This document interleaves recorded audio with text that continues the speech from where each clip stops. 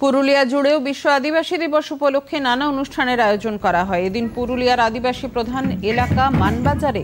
নতুন মহকুমা ভবনের উদ্বোধন হয় আদিবাসীদের আর্থ সামাজিক বিকাশে নিজের দায়বদ্ধতার উল্লেখ করেছেন পশ্চিমবঙ্গের মুখ্যমন্ত্রী মমতা বন্দ্যোপাধ্যায়